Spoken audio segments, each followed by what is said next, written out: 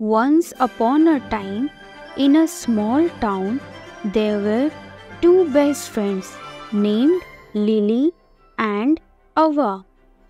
They loved reading about adventures and dreamed of going on one themselves. One night, they saw the moon shining super bright.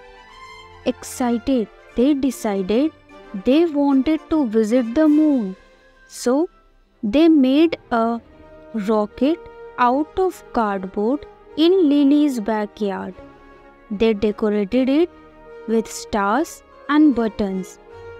They counted down three, two, one, blast off, and zoomed up into the sky.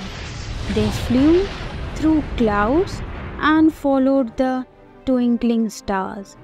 Their journey was full of fun. They met friendly aliens who showed them cool moon dances and told them stories. They even jumped around in the low gravity. But soon they realized their rocket was running out of fuel and they needed to go home.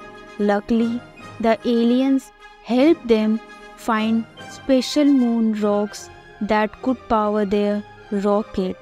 With teamwork, they collected the rocks and flew back towards Earth. They landed safely in Lily's backyard, feeling happy and covered in steady dust.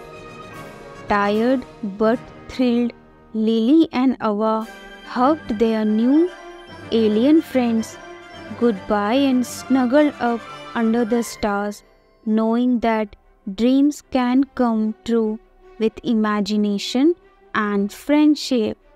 Hope you like it. Bye bye. Take care.